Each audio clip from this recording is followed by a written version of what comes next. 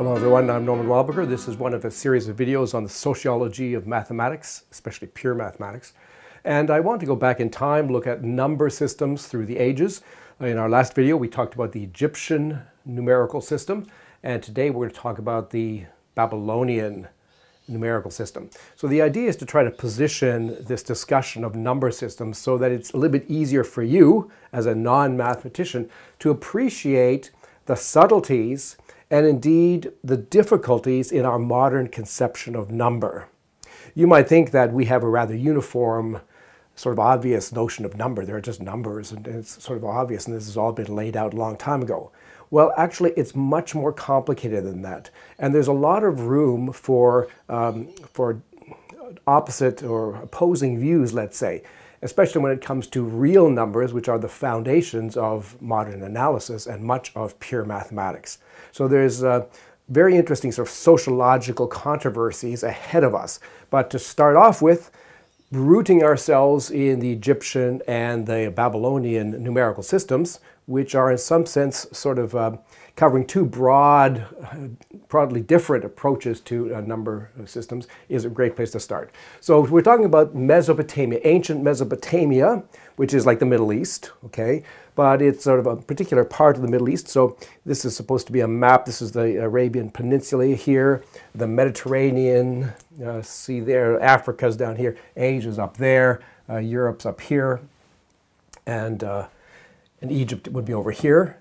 And we have these two great rivers, the Tigris and the Euphrates rivers, uh, emptying into the uh, Persian Gulf. And it was sort of in this area here that we had this remarkable uh, long-standing period of uh, interesting cultures happening from the very early times. So notably, the first sort of great civilization that we could sort of identify are the Sumerians who arrived probably somewhere before 3500 BC to 2000 BC.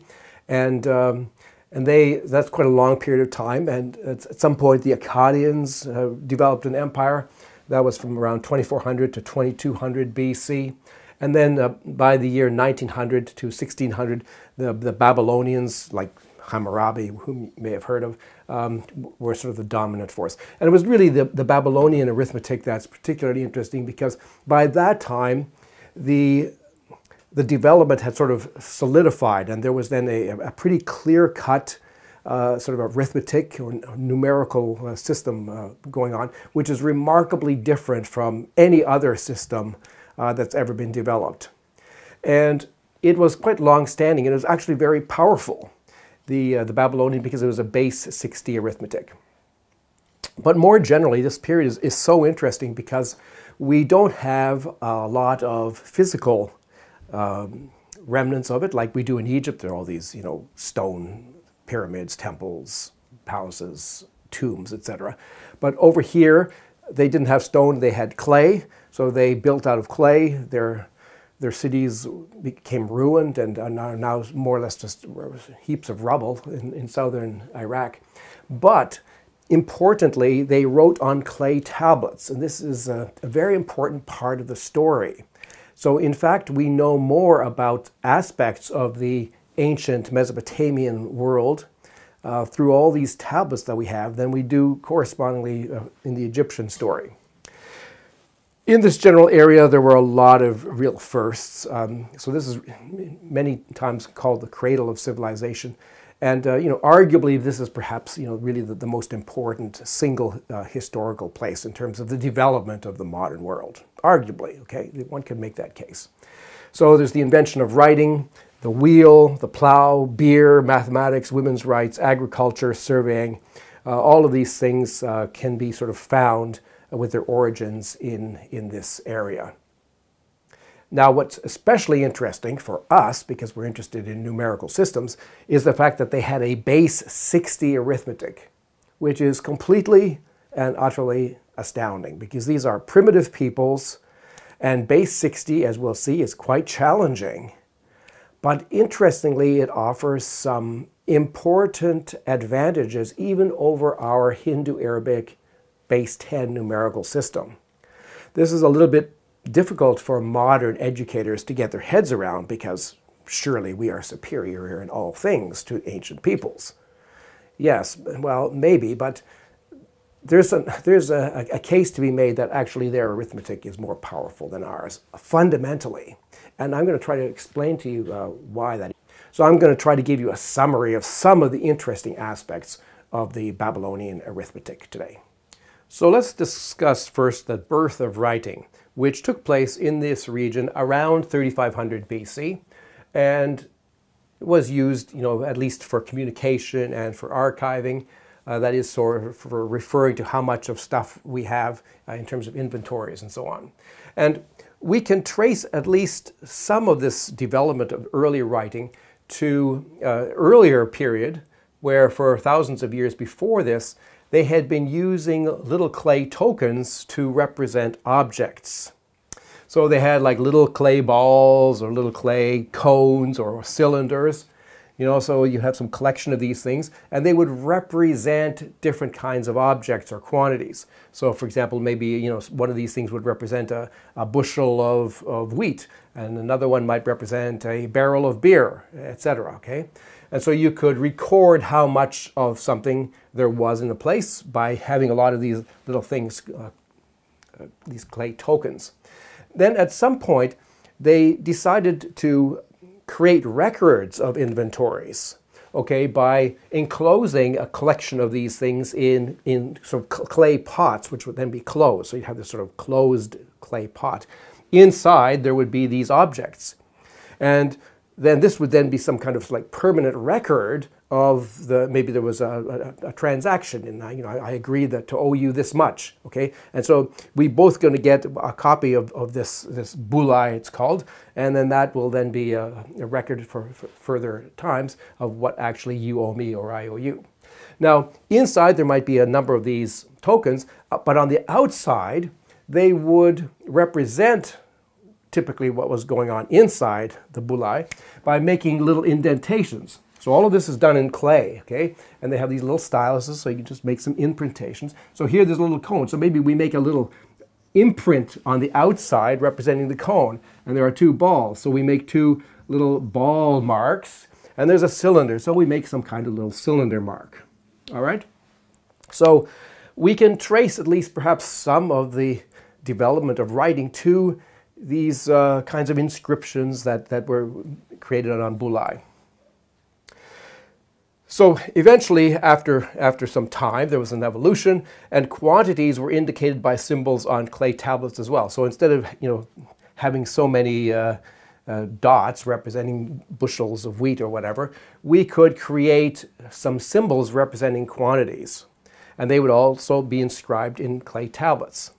And typically, what happens is that they liked to have different units, you know, because quantities can occur in all kinds of sizes, from very small to very large. So you don't want the same unit, you want to have a, a series of units that cover the, uh, the quantity in question at different scales. So typically, uh, powers of 10 were used. Okay, that's very natural. Uh, so, uh, for example, maybe this is some little like wedge-like thing, and maybe 10 of these was, was a ball. But some somehow they also use sixes. So sixes also prominently occur. So for example, six of these balls might represent a, a, bigger wedge. And then maybe 10 of these bigger wedges would be represented by this symbol, which would sort of incorporate a wedge and a ball. Okay. So this kind of numerical representation, however, is intimately connected with metrology. That is the, the various units that were used for various quantities, be it length, or area or, or weight or, or volume, you know, et cetera. Right? So each of these kinds of um, measurements would have different units. So for example, uh, the nindan was a standard unit of, of length, okay? But uh, once you had a certain number of nindan, then you had some, some other units that would be represented by some other symbols. But typically, we can say that we can recognize that they organized a lot of their metrology with multiples of 10 and 6. Not exclusively, but these two numbers figured particularly prominently in their metrology, in their, in their expression of units to record quantities. So by the Babylonian period, about 1900 to 1600, the sexagesimal system was firmly in place. And it was codified in a kind of a standard way that was used reasonably uniformly in many of the city-states that, uh, that were you know, occupying that region. Of course, there was a development here, right? So we can trace the ancestry of this system to earlier Akkadian and Sumerian times. So it's not just the Babylonians invented this. They adopted earlier conventions that the Sumerians and Akkadians used. And here's what they did. So they had a symbol for, for ones, which is like a vertical stroke. And everything here is made on some clay tablet with a little stylus, just a, a reed or something. And then so you make some little marks, and that's uh, those represent ones. And then you, you put the stylus sort of in, in a different direction and make a little wedge, and such a wedge represented 10. So since we're talking about a base 60 system, the digits themselves are numbers from 0 or 1 to 59. Okay, that's a symbol, that's a digit. It's a number from 1 to 59. There's another one. Oh, actually, in this case, there's another one. There's another one. There's another one.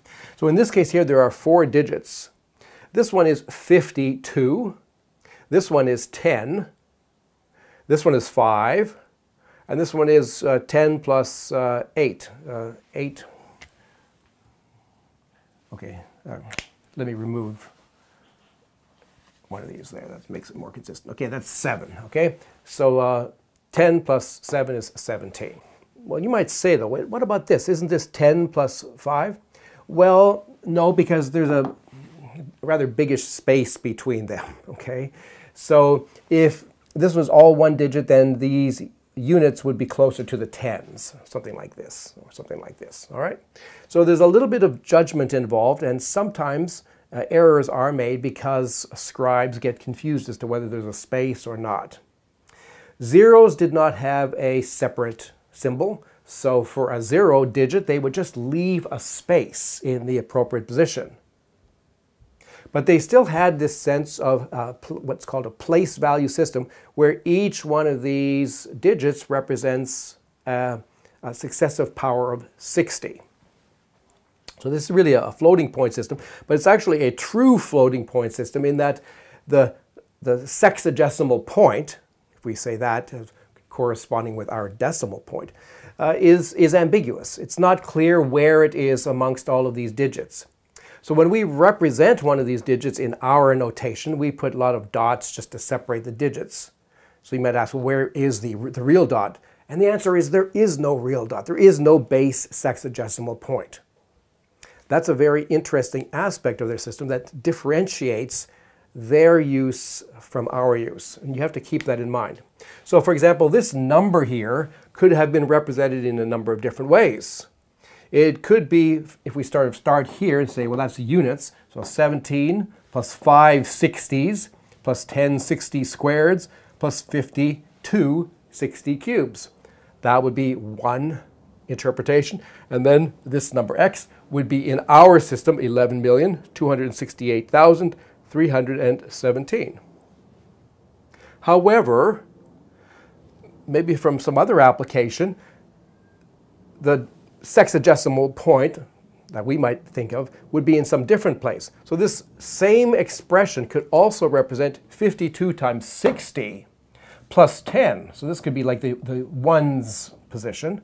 And then to the right of that would be necessarily then powers of 60 with negative exponents.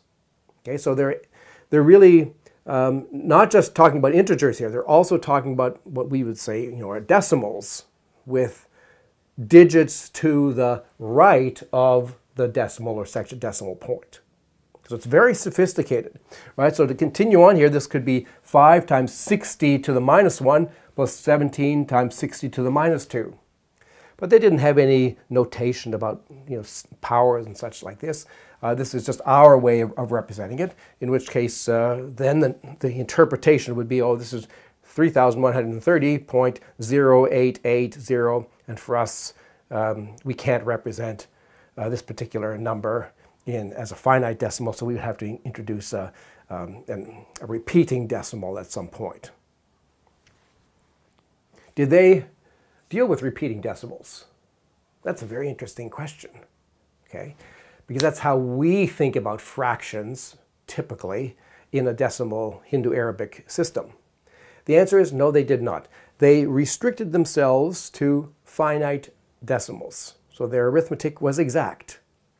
However, they understood that sometimes if you divide it by certain numbers, you're going to get answers which are not representable in this finite fashion. They certainly understood that. In particular, dividing by 7 is such an example. So it's quite remarkable. Uh, when I was teaching history of math some decades ago, probably now, um, I told my class that you know the Hindu-Arabic number system is, is perhaps you know the most important mathematical development of, of you know in mathematics because it's really the basis for our number system, and that this you know goes back to Indian mathematicians and then to further developments by Arab mathematicians. I was a little bit ignorant of the um, prior uh, rich arithmetic that the, the Babylonian period had, which was thousands of years before that, you know, literally almost 3,000 years before uh, the advent of the Hindu-Arabic system. And we can see all the aspects of that pretty well here, okay, except for a special um, designated symbol for zero. But apart from that, they had basically a decimal arithmetic which was quite viable and, and powerful. We know that in the Babylonian period there was a well-established sort of educational system where young people, males typically, uh, were enrolled in scribal school as, as teenagers and they would go through several years of training to become familiar with uh, arithmetic and, and other things. Now these scribal schools relied very heavily on tables and we have quite a lot of records of tables that they used. These tables include tables of squares. You know, 1 squared is 1, 2 squared is 4, 3 squared is 9, 4 squared is 16, etc. And they would just carry on like this. And there was also tables of square roots. Square root of 1 is 1. Square root of 4 is 2. Square root of 9 is 3. Square root of 16 is 4, etc. They also had uh, tables of cube roots. Presumably they had tables of cubes too, but I'm not sure if, if we actually found such. Um, very importantly, they had a table of reciprocals, and I'm going to have to say more about that. That was their most important table, probably, the table of reciprocals, which effectively uh, tells you how to divide. Because as I've stressed to you many times, it's really division, which is sort of the critical, the difficult, the challenging operation in arithmetic. How do you deal with division effectively? Well, the Babylonians used reciprocal tables. And they also had other tables which are very interesting called multiplication tables, but I prefer uh, to call them multiplication division tables.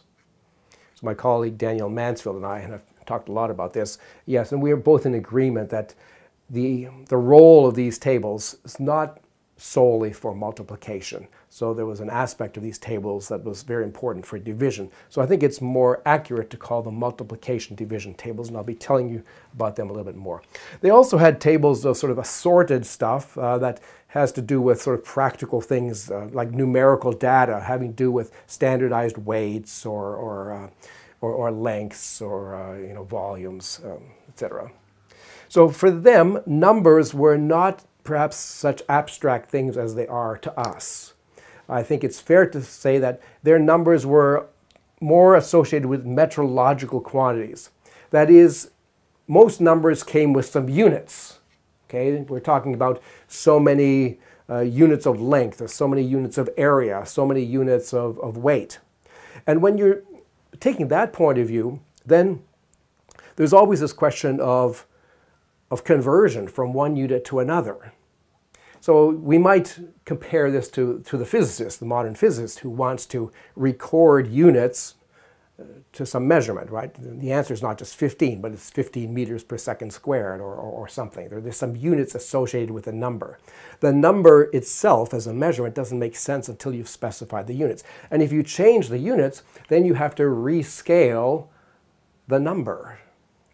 Okay, and that's maybe one reason why they were a little bit flexible as to where the decimal point is, because if your units are, say, organized to reflect this multiplication by 60, then changing the units really amounts to sort of shifting the sexagesimal point around. Okay, so here is their sexagesimal reciprocal table, which is at the core of their arithmetic, and it's something that every scribe would have had to memorize. So they would have known this back and forwards. And sometimes it's associated with the terms igi, igi uh, you know, in terms of a number and its, and its reciprocal. So what we have here is, say, a number n, and it's reciprocal. So let's denote the reciprocal is typical uh, with a bar, okay? So remember this is all in base 60, and we're, we're floating in, in terms of the powers of 60. So the number 1 and the number 60 are represented both by a, just a single vertical stroke as is the number 60 squared, what we would call 3,600. Okay? So what's the reciprocal of 2? What do you have to multiply 2 by to get 1? Well, 2 times 30 is 1, because 2 times 30 is 60. You write down a 60, that's the same as 1. The reciprocal of 3 is 20. The reciprocal of 4 is 15. The reciprocal of 5 is 12. The reciprocal of 6 is 10, and so on. But the reciprocal of 8 is 7.30. Okay? So like we would say 7 and a half but a half to them, because everything is written out as a decimal, is 7.30. 9 is 6.40. 10 is 6, 12 is 5, etc. Okay, and you see it gets a little bit complicated. And uh, note also that not every number has a reciprocal. That's really important to, to mention. So the first number that does not have a reciprocal is in here. We're missing 7. 7 does not have a, a reciprocal. Why? Because 7 is not regular. So the numbers which have finite realizable reciprocals in their base 60 system are the regular numbers. And what does that mean? It means that they're numbers whose factors are consisting of 2s, 3s, and 5s, because those are the factors of 60. So you cook up any number just by multiplying a certain number of 2s, 3s, and 5s together. That's going to be regular in the sense that it's reciprocal in base 60 will be a finite decimal, which means they can write it down, they can be sure they know exactly what it is, okay? That is a, a division that can be done for them, okay? So for them, division by 6 and division by 7 were very different. You could divide by 6, could in the sense of being able to do it exactly, but you could not divide by 7 exactly. You could only divide by 7 approximately. Now, this is very interesting because it's a little bit far removed from our understanding. We think, well, you can divide by anything. Yeah, but what we have to do to try to make that work is to uh, have a, an extended arithmetic, so-called, of, of uh, repeating decimals. And we'll talk uh, some future video about the challenges involved in getting that actually off the ground officially. Okay, anyway, so here's the reciprocal table, and you can see that there's some interesting uh, quantities. Uh, the reciprocal of 27, that's a power of 3, right? So that has that's regular. It has a reciprocal. It's 2.13.20, so it has actually three uh, sort of places. It's getting complicated. And 81, which is down here, 1.21, is 44.26.40. It's, it's the most complicated one. So this is the reciprocal table. Uh, the reciprocal of 1 is 1. You might ask, isn't that sort of silly? Why do we need to, to mention that? The Babylonians were very systematic. They didn't leave out things. They wanted to list everything completely, clearly, exactly, without any omission, even if some entry is well known to everybody. Okay, now have a look that you'll see that some of these numbers are um, are underlined in green. These numbers, the majority of them, okay, but not all of them, these numbers have a, a special role that they have associated multiplication slash division tables associated to them. We'll talk about that later, okay? But so this is a, an indication of the richness of sexagesimal arithmetic because if you made a corresponding uh, table uh, in the Hindu-Arabic world, it would be much more limited. It would be much smaller and less useful than this one. So if you're going to do a lot of division, you probably prefer to be a Babylonian using their base 60 system, which is more powerful for doing division. Now, the first thing that uh, a primary school student would probably think when they hear that the ancient Babylonians used a base 60 system is, wait a minute, how are you going to do multiplication? It was bad enough having to memorize a 10 by 10 multiplication back in grade 3 or 4. But they had to memorize a 60 by 60 multiplication table, or maybe a 59 by 59 multiplication table. Surely that's impossible. So that's a, an interesting uh, question is how do you actually do arithmetic? How do you multiply these digits? Because that's probably something that you need to do. Well, one aid that they had is these multiplication or multiplication slash division tables, which had listed multiples of a lot of numbers that you might want to take multiples of. So for example, this is a, a 10 times table. This is how they would have represented the 10 times table. And this would have been a tool that would be sitting somewhere in the, the scribal classroom. Where's the 10 time table? Okay, I need it for a second. Okay. So what's involved here? So here's our symbol for 10. And here's some cuneiform expression that means you know, multiply or, or times. So 10 times 1, and here's the answer. Okay, 10 times 1 is 10. Now, the next row doesn't have the 10. We've already established what the 10 is. It just has times 2. Okay, times 2 is 20. There's 20. Times 3 is 30. And then it goes times 4, times 5, times 6, times 7, times 8, times 9, times 10, times 11, times 12, times 13, times 14, times 15, times 16, times 17, times 18, times 19, down to times 20. Now you think it's pedantic for me to say all of that. That would not have been considered pedantic for uh, an ancient Babylonian, right? That's what they wanted to do. They wanted to list them all. And so there would be a long list of all the multiples of 10 up to 20. And after that, it jumps. So the next one is by 30. So 10 times 30. What is 10 times 30? Well, for us, that would be uh, 300. And if you convert 300 to base 60, um, well, we have to use the 60s unit. So it's 5 60s. So the answer is 5. Because 5 times 60 is represented by 5.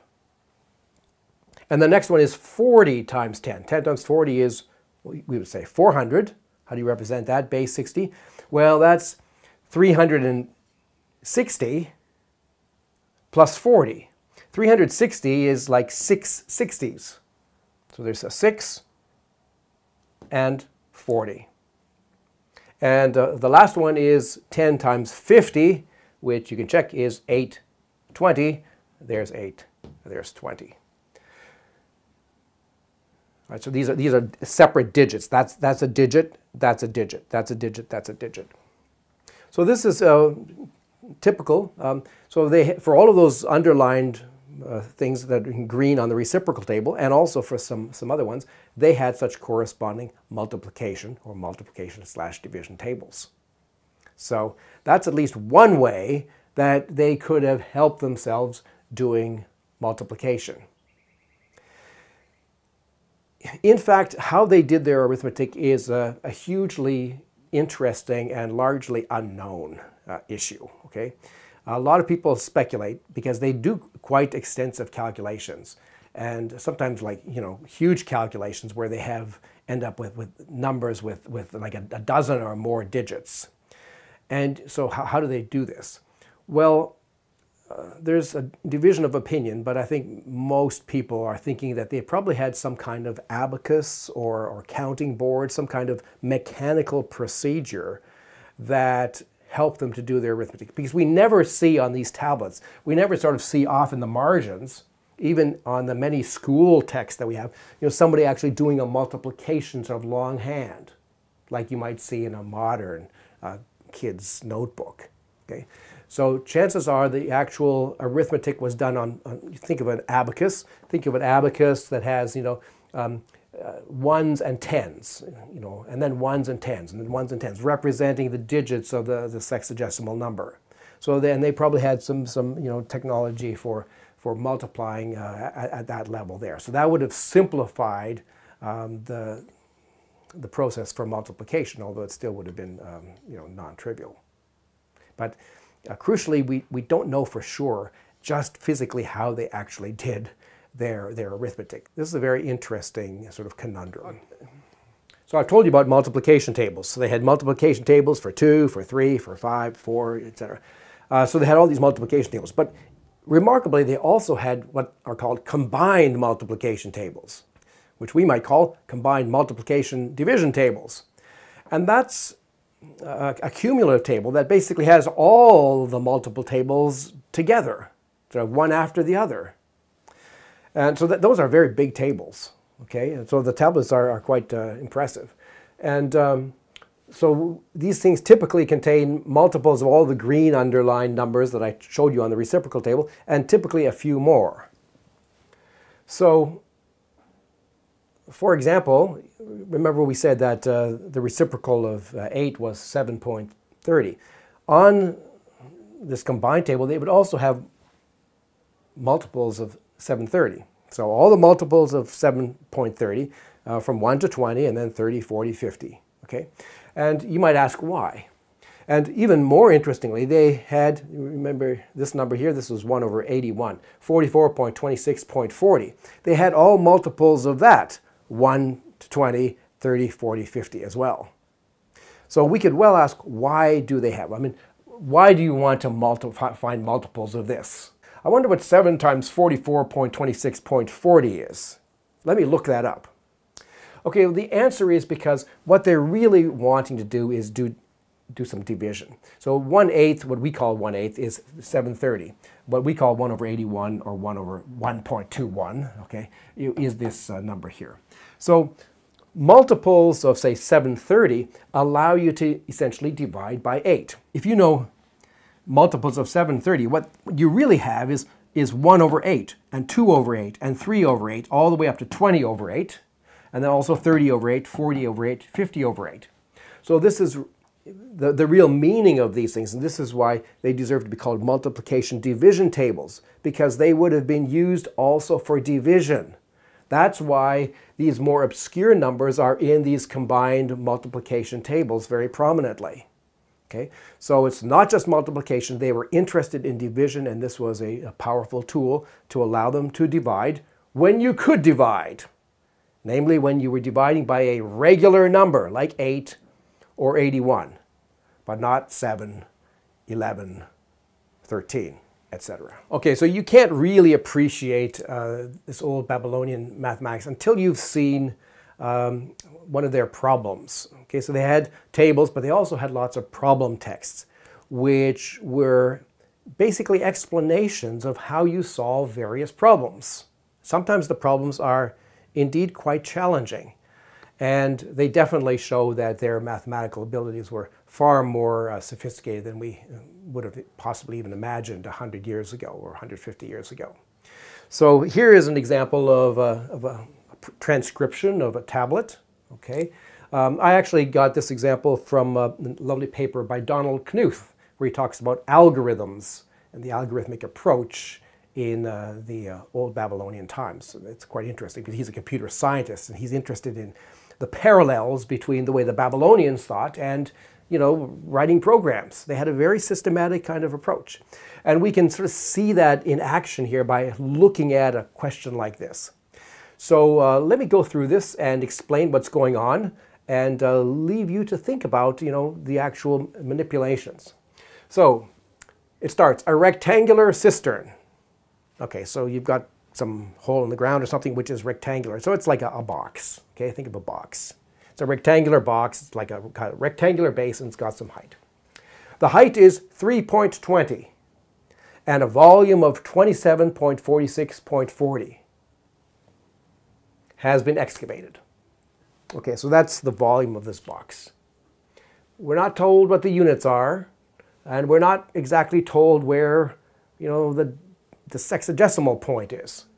Okay, the length exceeds the width by 50. So we're talking about the base. We know the height, and the length exceeds the width by 50. Okay, so what they, do they want? Well, at, at, the end, you find the length and, and the width. So the aim is to find out what the length and the width of this box are. So the first thing we should do is we should um, find the, the area of this base rectangle, right? It's really a question about the area, about a rectangle. So to get the area, we should take the volume and divide by the height. Okay, so we have to divide by the height. Okay, so How do you divide by 3.20? Well, you have to take its reciprocal. So the reciprocal, take the reciprocal of the height, 3.20, to get 18. So if you looked on our uh, reciprocal table, the reciprocal of 18 is 3.20. So dividing by 3.20 is the same as multiplying by 18. And so note also that the number that's being used here is for illustrative purposes. And it's arranged that this has a, a number that does actually have a nice reciprocal that you could look up on the reciprocal table. Okay, so we've got the re reciprocal of the height, which is 18. So now multiply this by the volume. Okay, there's the volume again, 27.46.40. So you have to multiply this by 18. Okay, so you, have to do a multiplication. And what you get is 8.20. So you might think, well, what are the, where are the units here? Well, um, you know, let, us say that you happen to think that the, the, the sexagesimal point is, is right here. So this is a, a volume of about 27, okay? So we're going to have to multiply by 18. How should we think of that 18? We should think of that as like a point 18. So it's like 1860s, which is like you know, roughly one, one fourth or something like this. Okay, so you're really taking one fourth of, of the 27 roughly and, and, and, getting uh, an 8. Okay, so that's, that's sort of one way of interpreting, you know, sort of taking, um, taking some position. But it's not the only uh, possible interpretation. You could put the sexagesimal place in other places and it would still sort of work. Okay, and now what we have? Now we have um, an unknown length and an unknown width. We have this rectangular just base, okay? So we know what the area of the, the rectangle is. It's 8.20. And we also know the difference between the length and the width. Okay, so now what's going on here is ultimately a, a, solution to a quadratic equation. So let me, let me go through what they do, and I'll explain it in, uh, briefly uh, in the next slide. So take half of 50. Uh, where is 50? 50 is the difference between the length and the width. And square it, obtaining 10.25. Okay, so there's some rule here that's being used that they, that they know. And so they're demonstrating this rule. You take half of this number here, you square it, you get that. Okay, you add 820, that's that number there. You add 820, and you get 8.30.25. Now notice at this point here, at this point when you're adding this to, to this, you have to have a sense of the relative sexagesimal places, okay? So uh, what's adding here, this, this 8 corresponds to, uh, or maybe I should say the 20 here uh, corresponds to this 10, okay? So if, if there's a decimal point, or a sexagesimal point here, then there would be a sexagesimal point out front there to get 8.30.25. The square root is 2.55 we have to take the square root of this thing. Now, crucially, this is a number which is an exact square. Okay? They appreciated that you couldn't take a square root unless you have a number which is a complete square. So they would have arranged this beforehand so that this thing is actually a complete square. Of course, the way they would have arranged this is the same way a modern high school teacher would is to start with the, the, the, box. The box is this by this by this, and then cook up these various things. And so the, you know that then the solution is going to end up with the, the numbers that you, you ascribed to, the dimensions in the first place. Okay? That's going to ensure that this actually sort of works out. But it's important to realize they couldn't just take arbitrary square roots. Okay? So when they say take the square root, it means look something up on a table and, and find the, the square root is this. They actually had some more sophisticated algorithms for doing that. Okay, make two copies, adding 25 to 1, subtract 25 from uh, the other. Okay, this 25, um, that's uh, this half of 50. Okay, so we sort of ha having to uh, add and, and, and subtract this half of 50. And you find the length is 320 and the width is 230. So from this thing here, if you add 25, okay, where are you going to add it? Well, uh, think of the decimal point as being uh, right here, okay? So if you add that, you're going to get 2 point, like uh, 2.80, and the 8, one of the 80s comes out to give us 3.20. And if you subtract the 0.25 from this, then you're going to get 2.30, okay? And then there's one more line, which I abbreviate by TITP, and that's the line This is the procedure. Okay? So the, the solution is aiming to show you the steps that you should take in order to solve this kind of problem.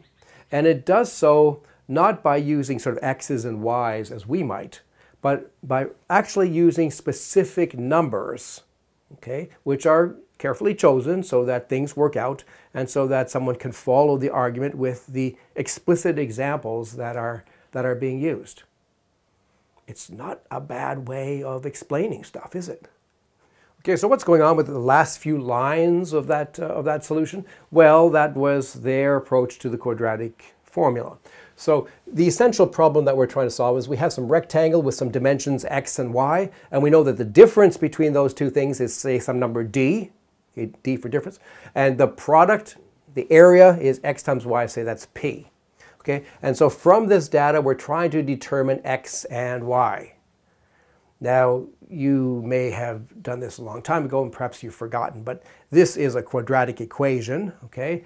And so to convert this into a quadratic equation, what you do is you use one of these equations, let's say this one here, to solve for y. You replace, you think of y as being p over x, okay? And then you replace this y with that p over x. So to get an equation just involving x. So you get x minus p over x equals d. And then you clear denominators, so you get x squared minus p equals d times x.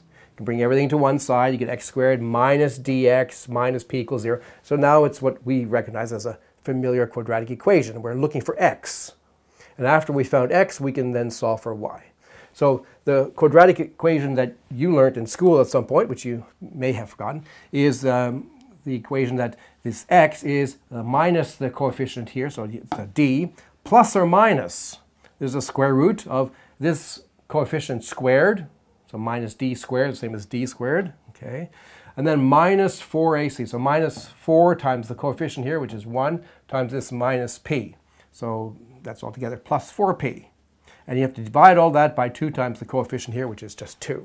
So this is our uh, way of saying this. So there's two solutions for x.